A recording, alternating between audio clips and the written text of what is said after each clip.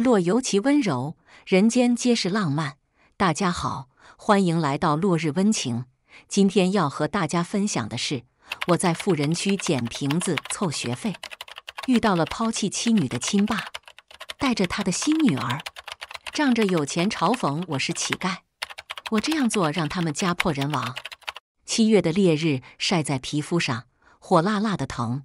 身旁的树枝繁叶茂，绿意盎然。富人区连垃圾桶都这么干净，捡的瓶子也比平常要多要好。被纱布缠着的右手掌心多了几分黏腻，还伴随着一阵阵钻心的疼痛。是前几天翻垃圾桶时不小心捏到了碎玻璃。旁边别墅的铁艺大门打开了，陆倩倩挽着我的爸爸，满脸笑容。经过我身边时，她漂亮的眉头微蹙。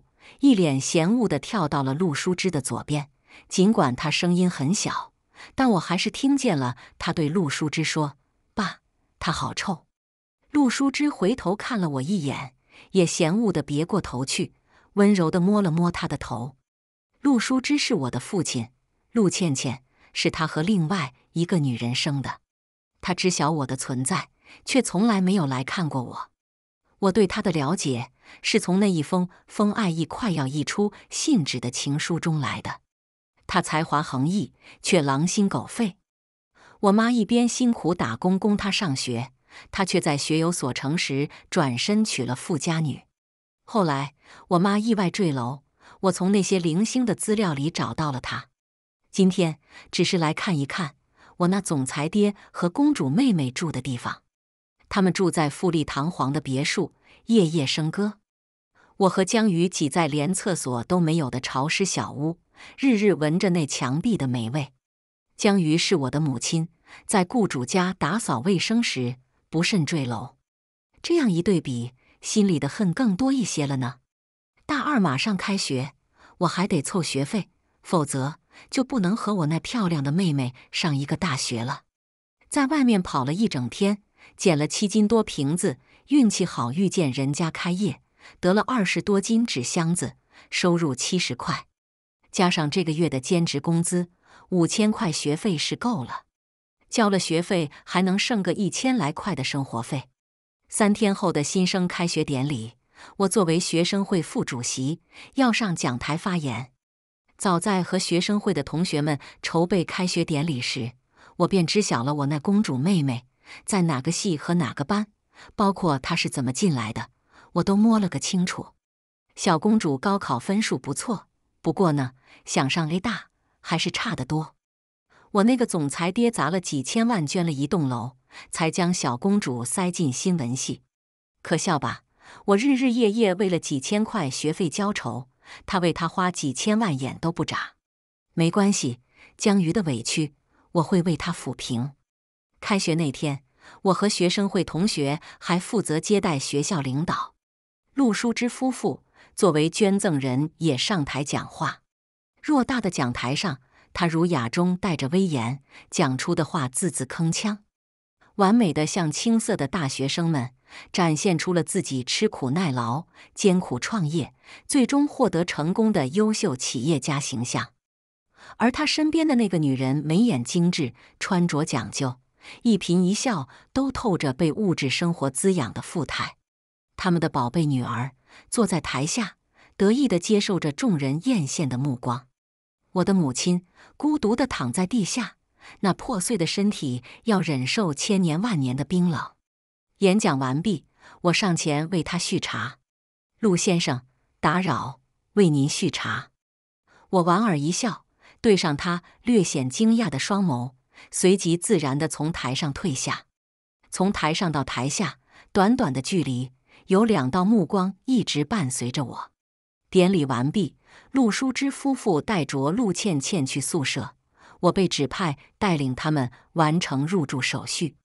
陆先生、陆太太可真是人中龙凤，建立恒远这个大公司、贵公司，可是我们大很多同学梦寐以求想去的地方。听到我的彩虹屁，陆淑之夫妇脸上难掩笑意。陆倩倩一路低头玩手机，一个近五十岁的阿姨在后面拿着她的行李，走得有些吃力。小姑娘是学生会的吧？不错不错，也很厉害。陆淑芝侧头看了我一眼，淡淡笑了笑，笑得很儒雅。谢谢陆叔叔夸奖，我是学生会副主席江暖。我顺着他的话自报家门。听到我的名字，他本来伸开的手掌握了拳。不就一个副主席，有什么了不起？这也能拿来炫耀？陆倩倩话语里带着讥讽，用力将我挤开。我看好你哦，学妹，希望下次在学生会见到你。我笑着恭维。倩倩，学学人家小宁，什么时候你也当个主席？陆淑芝拍了拍他的肩膀，看是责怪，实则语气里都是宠溺。当什么主席也比不得我们倩倩，她不需要那些东西。有些东西生来没有，就永远都不会有。许静瞟了我一眼，温柔的拉过女儿的手，安慰：“一家三口还真是一个样。宿舍在五楼，我们上去吧。”我岔开话题，走上前指路。宿舍是四人间，我们上去时只剩了门口这个床位，靠窗的位置，一个短发女孩正准备拿出自己的东西铺床。陆倩倩走上前，指挥着阿姨给我铺这里。同学，我先来的，这个位置是我的。短发女生蹙着眉头反驳：“先来又怎么样？”我说：“我要这个位置。”陆倩倩一屁股坐在床上，挑衅地看着短发女生。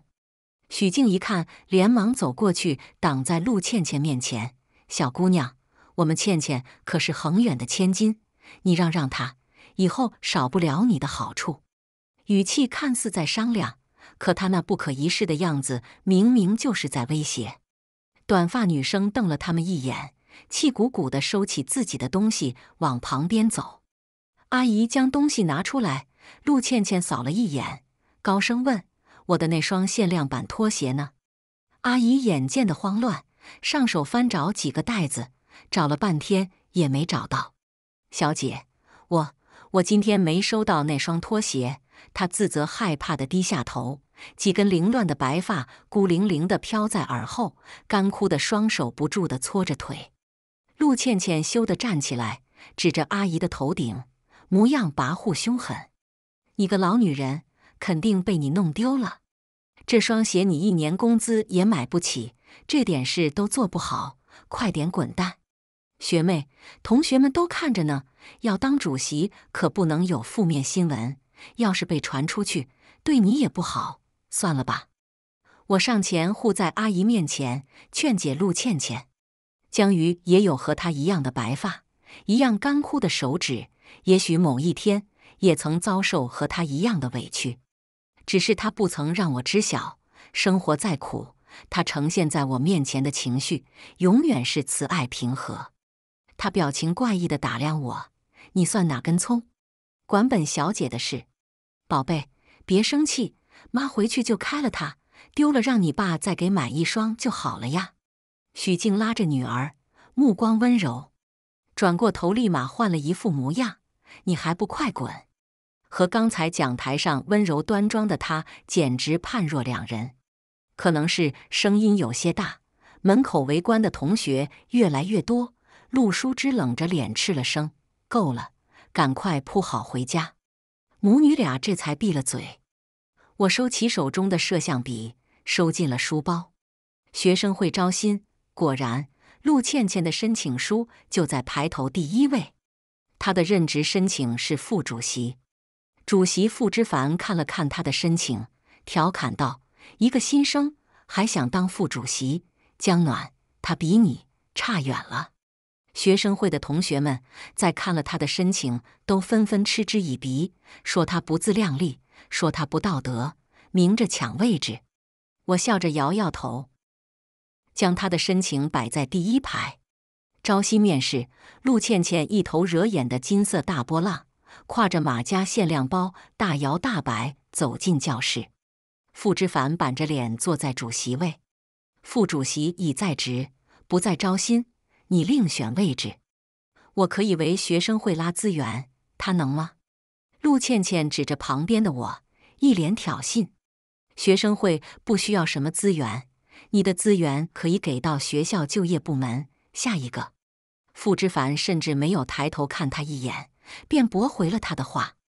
陆倩倩气得羞得站起来，瞪了我一眼，踩着高跟鞋噔噔噔出了教室。你不怕他后面整你啊？这么刚？招新结束，我在傅之凡旁边整理资料。别人怕他，我可不怕。江暖，你别担心，你的位子谁也拿不走。他看向我的眼神写满坚定。我拍了拍他的肩膀，谢了，兄弟。傅之凡是我的学长，在学生会这一年，他都比较照顾我。我的兼职也是他给我找的。我朋友不多，他算一个。回到宿舍，门口围了一些人，拨开人群，陆倩倩双手抱在胸前，手里夹着一根烟，眼神很不友好。学妹，怎么？找我有事？我笑着跟她打招呼。她从袋子里拿出一沓钱，用力扔在我桌上。江暖，听说你很穷，退了副主席，钱就归你了，够你生活很久了。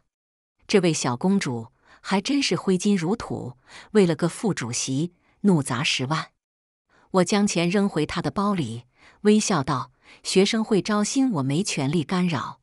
学妹还是先提升自己的能力，能力强了，自然就能上位。”她扔掉手中的烟头，声音变得尖锐：“江暖，你别给脸不要脸！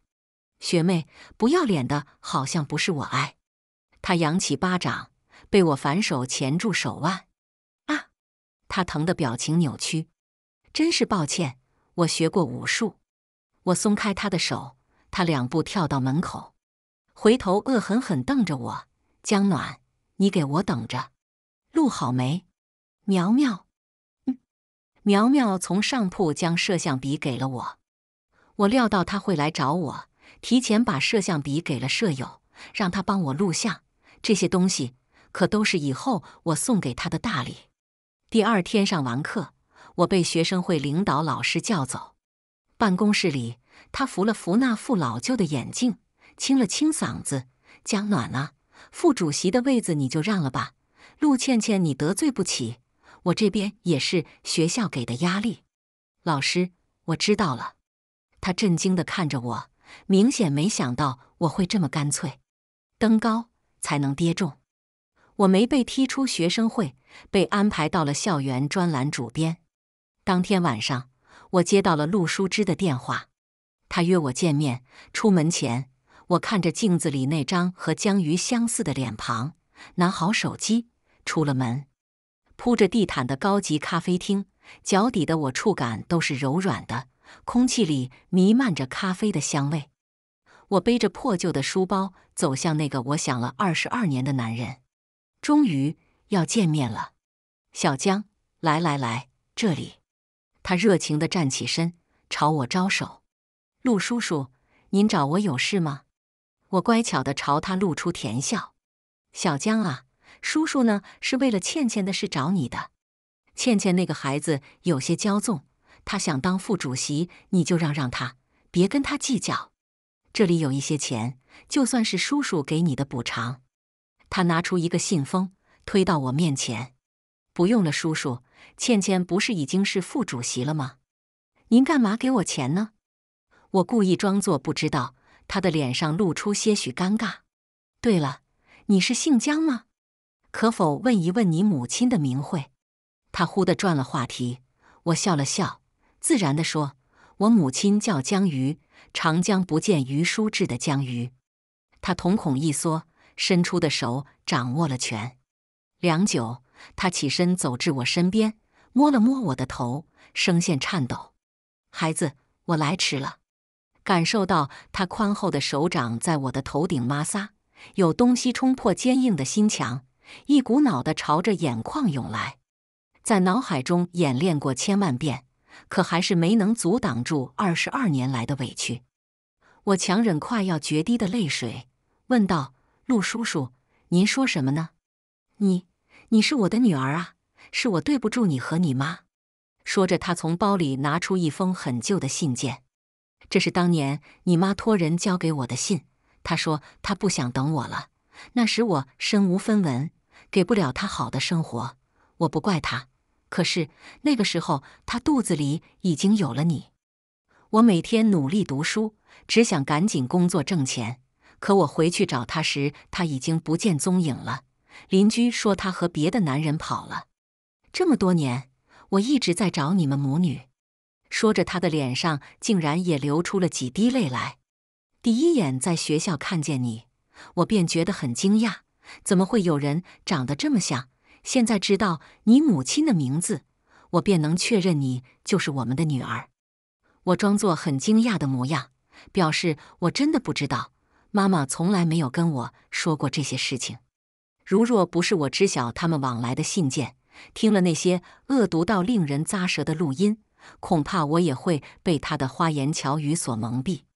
毕竟这些年也确实有个叔叔会时不时的带东西过来看我们。泪水如雨柱般落下，哭的是江鱼为他错付的华年，以及这艰难的二十二年时光。好孩子，不哭了。爸爸会好好弥补你的。我擦干眼泪，笑着喊了声“爸爸”，笑的是我离报仇又进一步了。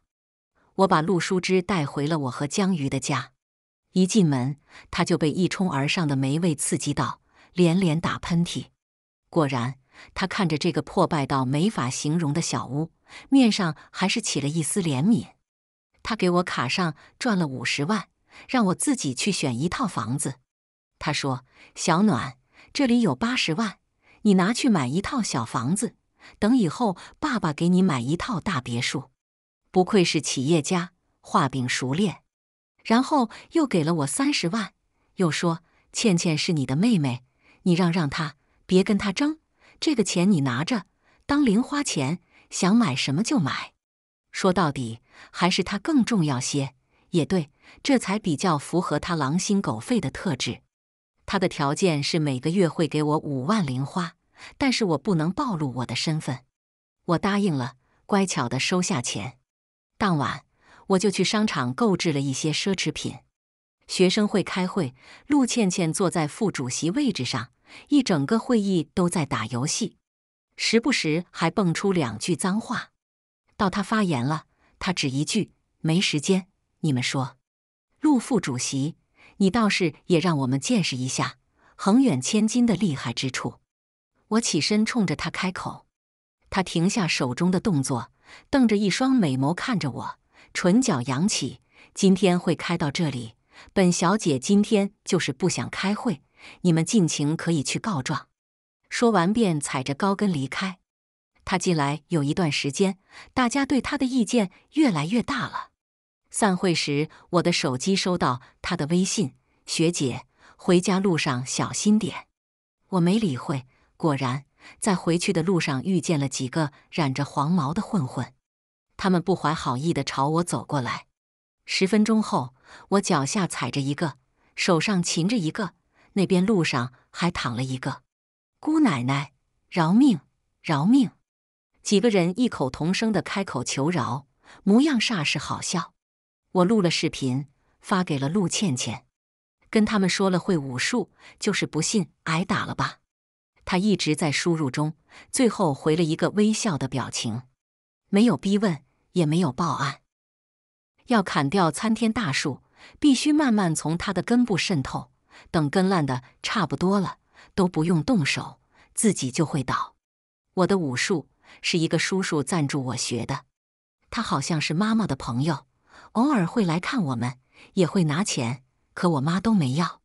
十岁那年，他破天荒的让那个叔叔带我学武术，一练就是十年。回到小屋，我拿出我妈的遗像，擦了又擦。玻璃框下，她笑得慈祥，双眸有些忐忑。那是她第一次去照相馆照相，被我抢拉着去的。她生前最爱干净，也爱美。经常拿着一面破了的小镜子看了又看，然后捏着我的脸问我：“妈妈好看吗？”可是啊，她的脸摔得面目全非。她长得很好看，圆圆的眼睛澄澈如湖水。我曾经调侃妈妈：“要是年轻几年，一定可以去当明星。”她笑得合不拢嘴。日子清苦，但她从未埋怨，总是笑眯眯地看着我，哄着我。纵使我的童年缺乏父爱，可他依旧给足了我安全感。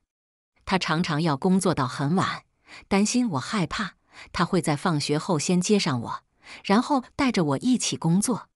七岁参加完我的儿童节，看到同学都穿着新鞋子。第二天，他在烈日下穿着短袖站了一天，给我买回了一双漂亮的小皮鞋。空着的地方被晒得脱皮，红红一片。十岁那年，为了挣钱去给人家洗衣服，大冬天的，十根手指全裂完了。我摸着他的手指哭，他亲了亲我的额头，安慰：“暖暖不哭，妈妈不疼。”他总是竭尽全力让我和其他小朋友一样。我知道他是觉得亏欠我，可是我一直觉得有他在身边就很好。太平间里，我看着那双被风霜侵蚀的扭曲的手指，上面还有好多细细密密的小伤口。终于肯承认，那个面目全非的女人是江瑜，是我的母亲。明明前一天他还和我说好。要去和我拍一套母女照，买一身好看的衣服，参加我的开学典礼。可怎么就突然没有了？我曾经问过他的妈妈呢，她也是笑着摇摇头。老师说，好好上学可以改变命运，所以我一直很努力读书，希望有一天可以让妈妈过上好日子。十六岁那年，我翻到了他和他的情书，才知道他们同样来自大山。原来我妈从小没有母亲，家里上完了初中就不再让她上学，就想早早把她卖掉给我舅舅娶媳妇。从未感受过母爱的人，却把母爱演绎得淋漓尽致。我抱着那些书信，泪流满面，暗自发誓一定要让母亲过上好日子。陆淑芝家里很穷，考上了大学就不愿再让她上，让她去打工贴补家里。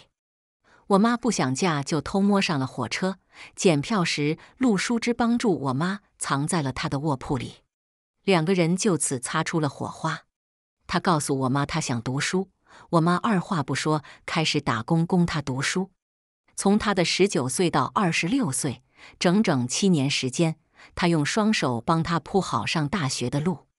路很平坦，曾经那双修长白皙的双手。却因日夜劳作逐渐扭曲变形。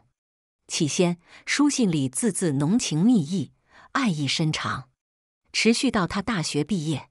后来他挣钱了，起先会寄些钱给我妈，慢慢的来信少了，字也少了，最后七年的付出只换来一句“分手吧”。最后干脆见不到人了。那时我妈肚子里已经怀了我。她照着书信里的地址，几经周折，终于找到了他。昔日那个穷酸的男生，已然是当地富商许家的准女婿。他锦衣华服，他衣衫褴褛，他大着肚子看着他旁边也大着肚子的女人，心里一下就明白了。他只看了他一眼，眼神躲闪，粗暴地说了句：“别挡路，看不见吗？”便温柔挽着那个女人上了昂贵的小汽车。他后来也有去找过她，只换来她一句：“他能给我前途，你能给我什么？”后来他死心了，终于明白自己错爱，便独自生下我。后来的这些是整理他的遗物时，我在他的日记中看到的。那个曾经美丽的少女，因为爱错了人，付出了一生，最后连命也被他夺走。如果没有遇见他，他的人生。不会过得这样苦吧？我把照片摆回原位，将网盘里的录音拷贝多份，又将那些信件整理好。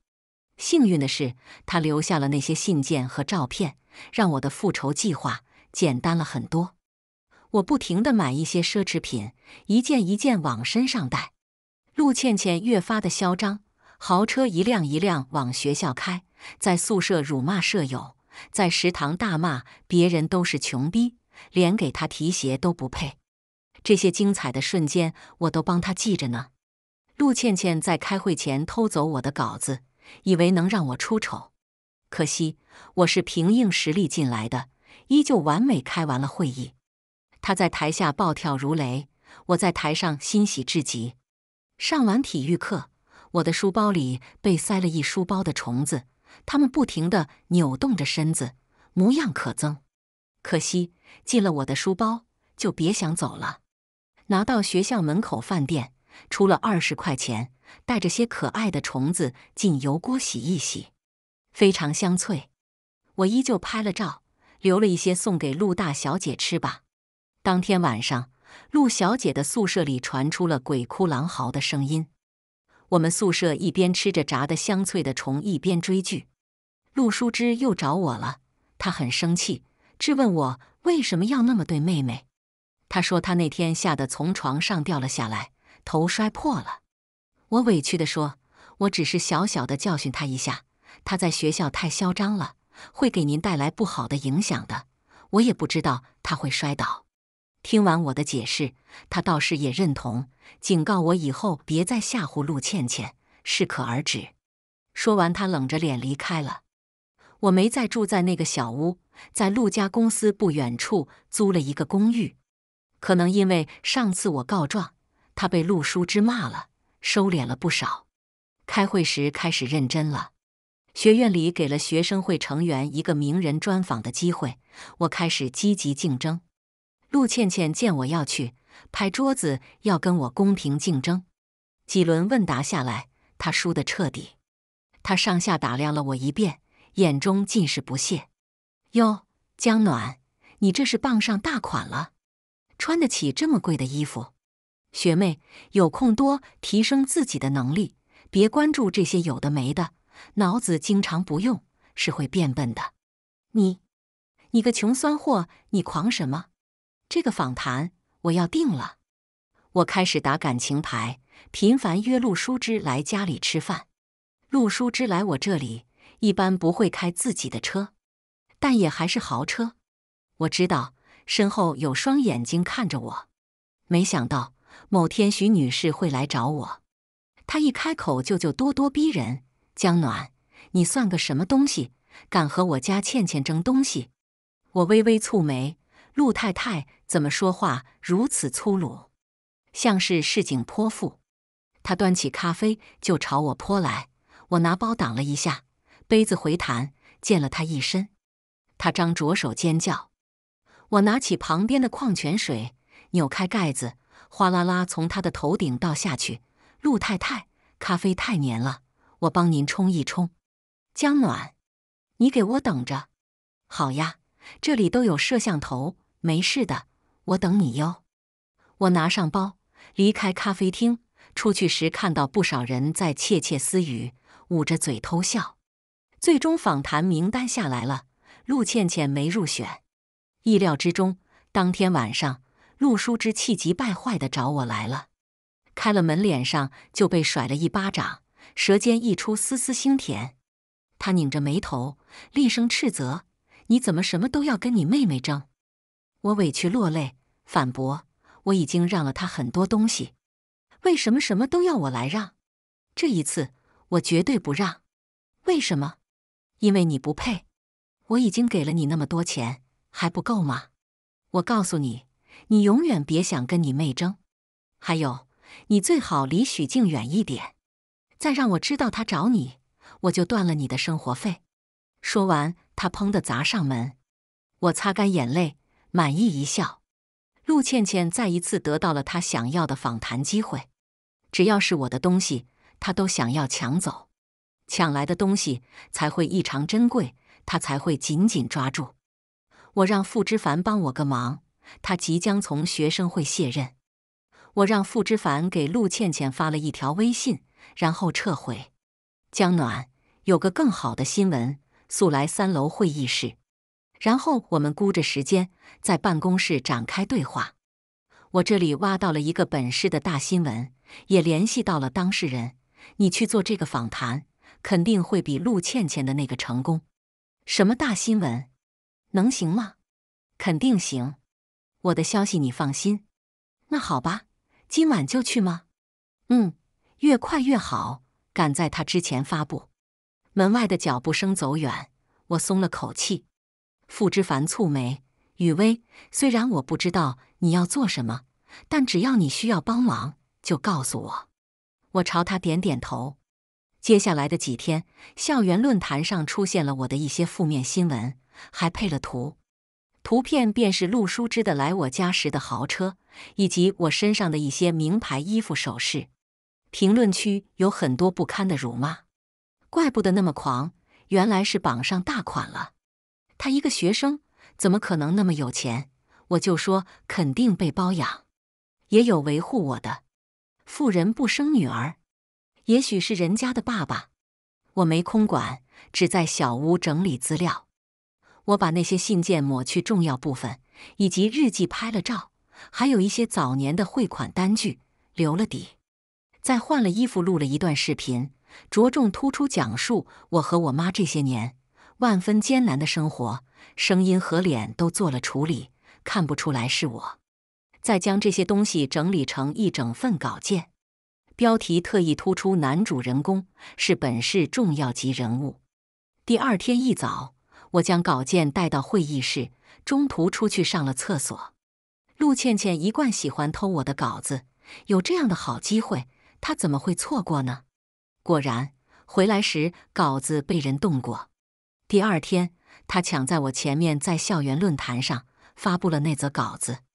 稿子被我隐去了姓名。只剩一部分信件和我母亲的日记，不能让陆倩倩知道男主人公是他父亲，更不能让陆淑芝先一步发现。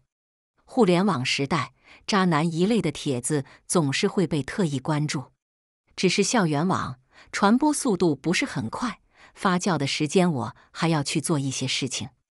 伪善富豪不为人知的两个面孔，抛弃妻女，道德沦丧。这是我的标题，他一字不漏地抄了上去。我故意找到他吵架，他依旧是一副不可一世的样子。是啊，他父宠母爱的，背靠大山，自然没有什么可怕的。其实这样的蠢货是最容易对付的。陆倩倩，那个新闻明明是我的，你又偷我稿子？什么你的稿子？那可是我自己去挖出来的。对了。你不是傍了大款吗？去让你的大款帮你啊！臭婊子，就你也配合我争？他双手抱肚，拿起桌上的笔筒就朝我砸过来。木质笔筒擦过我的脸，留下一道血印。说我傍大款，你有什么证据？就凭那几张车的照片。反正后续稿件在我这里，我看你怎么办。我擦了擦脸，故意激他：“你给我等着！”有你跪着求我的那一天，晚上我给陆叔之发去了信息：“爸，那天是我错了，不该顶撞你，我以后都不会抢妹妹东西了。明天我亲自下厨，您过来吃饭吧。”三分钟后，他回了消息：“嗯，你乖，爸爸不会亏待你。”我打开网盘，点开那份我听了一遍便不敢再听的录音，一共三个文件。第一个是江瑜去找他时的，大概是两年前我刚高考结束时。江瑜的声音坚定利落：“只要你出了暖暖的学费，我就不再来找你。你带着他离开这里，我就给你钱，五十万，永远别回来。”不可能，暖暖考上了个大，那是他最喜欢的学校。你放心，你只要给了他的学费，我绝对不会再来打扰你。不可能三个字说的格外坚定，可后来的话，连声音都在逐渐变小。不可能，那我这里也不可能。你别想得到一分钱。陆书之语气冷得像一条毒蛇。陆书之，你别太过分。你不想想当年是谁供你读书的？没有我，哪里来你的今天？我妈开始生气，话语带着哭腔。那是你自己蠢。江鱼识相的拿了钱滚出这里，否则别怪我不客气。第一段到这里就没了下文，第二段只有寥寥数语，开头便是陆书之的声音。这样吧，我给你找了一个别墅开荒保洁的工作，打扫干净了，有一万块一个月，我会给你找几份，足够了。一段沉默之后，江鱼开口：“好，什么时候？”在哪里？我的江鱼只是想要给他的女儿赚到学费而已。那段时间，江鱼因为脚受伤，没法工作。他为了我的学费一直忧愁。尽管我说我兼职也有工作，实在不行可以求助学校，可他还是去找了陆书之。后天，万景路二栋十五楼，工具你自己带。嗯，我看了网盘上传的时间，他说的后天就是我妈意外坠楼的时间。第三段录音，什么时候结工资？打扫完了就结。阳台上有很多钉子，你先去收了。接着是脚步声和钉子落到铁器上的声音。去死吧你！啊！接着是宁婉的尖叫声，后伴随的是一阵沉闷的落地声响。过了很久，窸窸窣窣的脚步声，录音到这里便停止了。那天我在街上发传单，接到医院的电话，说宁婉意外坠楼，当场死亡。瞬时，我的脚像灌了铅，走不动，脑子里也像静止一般，不知道该怎么做。很久很久，我才到了医院。他的手机摔坏了，打不开。去警察局，他们告诉我他是去做保洁的。那个房子没有封阳台，连窗户都还没安。结论是意外坠楼。我怎么会信呢？他是那么谨慎的一个人。他以前跟我说过，他之前的同事就是因为去做保洁，没看清没安窗户，掉了下去。后来他每次去干保洁，都要问清楚有没有安窗户。怎么会呢？那个叔叔又来了，他帮我处理好了我妈的后事，又给了我三千块钱。后来的小屋再也没有了江鱼温柔的声音。我打开网盘，翻着我和他仅有的三张合照。画面很糊，是用一百来块的二手手机拍的。翻着翻着，我发现里面多了几段录音。我以为是我的英语听力文件，便打开了它。听完，我的指甲已然嵌进了掌心，胸口像是万箭穿心而过，疼得我喘不上气。我似乎知道了江鱼是怎么死的，于是我开始了长达一年多的调查。最后制定了我的复仇计划。付之凡发了消息来，已成功。我请付之凡帮我找了一个很有名的黑客，到了陆倩倩的账号。我登上陆倩倩的账号，那条帖子已经有了几万的热度，不过大多是学校里的同学，大家都在期待后续。我将那三段录音贴了上去，又将和陆书之相处时录的一些视频。贴了上去，和他每一次见面，我都录音录视频。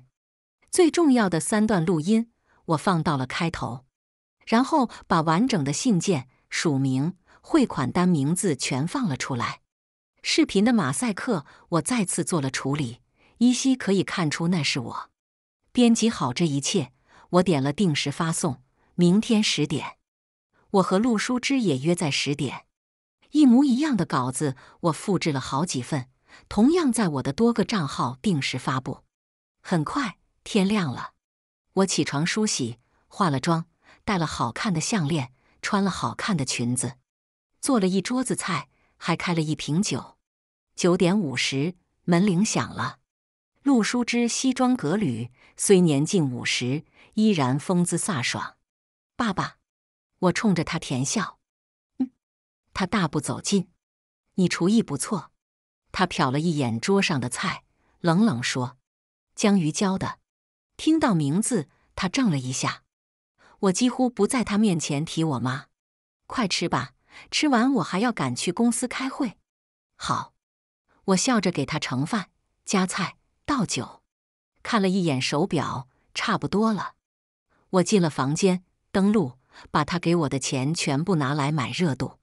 这波浪一定很汹涌。出去和他吃饭，门铃又响了。我笑着去开门，门一开，脸上就结结实实挨了一巴掌。许静越过我，冲到了陆书之面前，也甩了他一巴掌。他尖声大叫：“好你个陆书之，居然在外边找狐狸精！江暖，你怎么这么贱？勾引人，勾引到我爸身上来了！”陆倩倩紧随其后，冲上来叫嚷着。我笑笑，反问道：“他是我爸，我和爸爸吃顿饭不犯法吧？”听到这话，陆倩倩和许静都瞪大了双眼看着我，满脸的不可置信。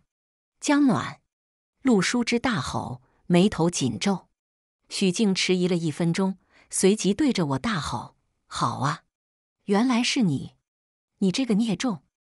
二十年前你妈那个贱货斗不过我，你也别想斗过。”妈，这这怎么回事？他为什么？陆倩倩从愤怒到震惊到不可置信。我笑道：“原来你一直都知道陆书之有个私生女呀，怪不得呢。你笑什么笑？我告诉你，你别想着还能再 A 大待下去。”他瞪着眼睛，唇红的扎眼。对了，陆倩倩，你这个失败者，做什么都是失败的，连个访谈都做不出来。你的后续呢？账号找回来没有？原来是你这个贱种！他扬起手想要打我，我反手钳住，用力甩了他一巴掌。都跟你说了，我练过武术，怎么就是不信呢？捏在他手腕上的力度逐渐收紧，他疼得大叫：“江暖，住手！”陆淑芝和许静冲上来将我扯开，许静还想再打我。我直接反手揪住他的头发，将他甩在地上。他吃痛，一直揉着腿。我走到陆淑芝面前，将手机扔给他：“陆淑芝，你不是最爱你的女儿吗？快打开手机看看，你的好女儿都发了些什么。”陆淑之蹙着眉打开手机，铺天盖地的新闻，一条接一条。恒源总裁杀妻弃子，其心可诛。恒源总裁陆淑之疑似杀妻，狠毒总裁的上位之路，竟是前女友的血肉所铺。陆倩倩发的那一条，像是细胞分裂，以极快的速度，瞬间分裂出千条万条出来。陆淑芝的手开始颤抖，她走到陆倩倩面前，啪，巴掌重重的落在陆倩倩身上，像当初打我那样。逆子，你看看，你都发了些什么？陆倩倩被吓得泪流不止，她颤抖着拿出手机，瞳孔在那一刻骤然紧缩，手指也开始颤抖。怎么是你，爸？怎么是你？我马上删了他，马上删。他开始语无伦次。许静看完视频，一屁股坐在地上，开始颤抖。他们开始害怕。陆淑芝的电话没有停过，她的眉头越皱越深，最后无力地瘫坐在地上。我去房中拿出那份早就搞到手的亲子鉴定报告，扔在了他的眼前。送你个礼物。陆倩倩根本不是陆淑芝的孩子。头一年，我发现许静和另一个富商走得很近，便萌生了这个想法。没想到，还真如我所想。陆淑芝捏着那份鉴定报告，额间青筋尽显。她转身掐住许静的脖子，厉声：“你这个荡妇！”陆倩倩被吓得跪着过去拉陆淑芝的手，陆淑芝最终还是放开了许静。许静大口喘着粗气，眼神惊恐。江暖，你胡说，都是你胡编乱造的！陆倩倩气急败坏地指着我，眼角猩红。怎么会呢？好妹妹，我都说了，这一定是个大新闻，你好好看看是不是大新闻。还有。你不是费尽心思要找后续吗？姐姐给你补上了呀，你应该感谢我。你还得了个大义灭亲的称号呢，网友都夸你呢，说你又蠢又坏，总算做了件好事。好好看看那些你发布污蔑我的帖子下面，现在都在说什么？我将手机丢给他，那些谩骂的评论早已被安慰覆盖。他颤抖着双唇，讲不出一句话。眼泪鼻涕混作一堆，模样狼狈至极。陆淑芝忽然跪在我面前，语气激动：“暖暖，暖暖，爸求你，你去录个视频，说那些都是你编的，我给你钱，给你好多钱。”我用力甩开他：“你休想！”陆淑芝，怎么样？你好受吗？你最宠爱的女儿亲手毁了你，可笑吧？你唯一的骨血，竟是你最不待见的人。我告诉你，你受的苦不及我妈万分之一。二十多年难熬的夜，她是怎样过来的？你知道吗？顶着烈日，迎着寒风，只为了能够活下去。她马上可以享福了，知道吗？我上了大学就可以赚钱，让她享福了。你这个杀人凶手，丧尽天良！你成功的路是谁铺出来的？你忘了吗？他猛地抬头看着我，眼神惊讶万分，似乎比没有预料我会这样说。你胡说！你妈是自己坠楼的。来，好好听听。我将录音翻出来，听完，他彻底瘫软在地。良久，他看向我，低低问我：“明明删了录音，你是怎么知道？”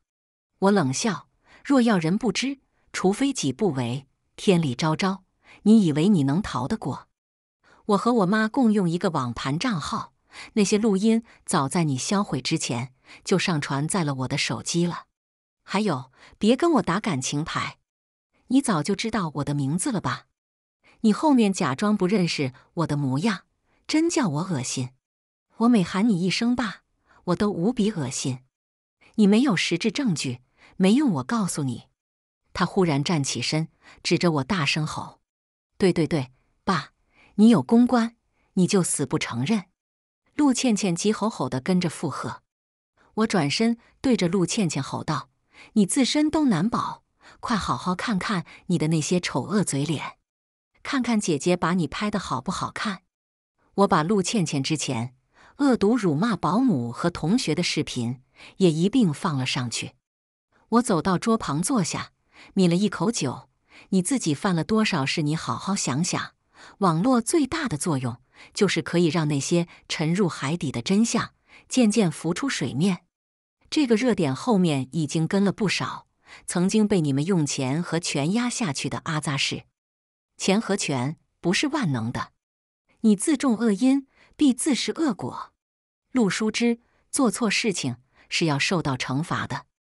我在调查的时候就看到一些帖子控诉恒远集团草芥人命，他们地产项目似乎在早前出过比较严重的事故。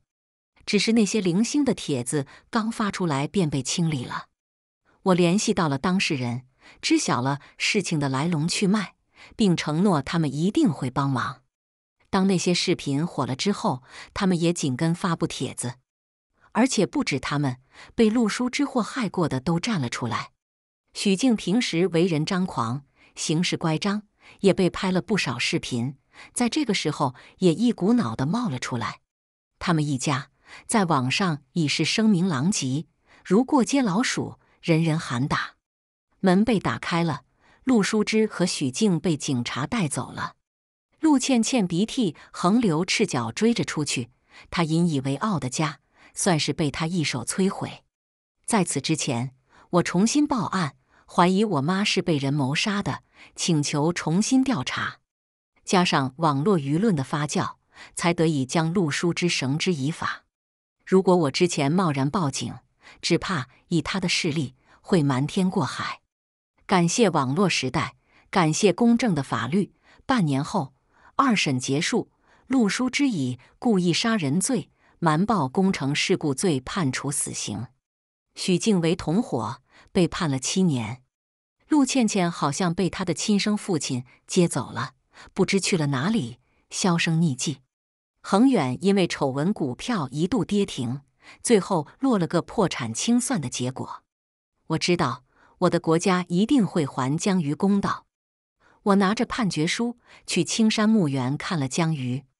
雨后的天空澄澈的像一汪清泉，天的那边有道彩虹慢慢升起。妈，你看天亮了，你现在一定是个幸福的小孩了。好了。这就是今天给您带来的全部内容了，大家记得订阅留言哦。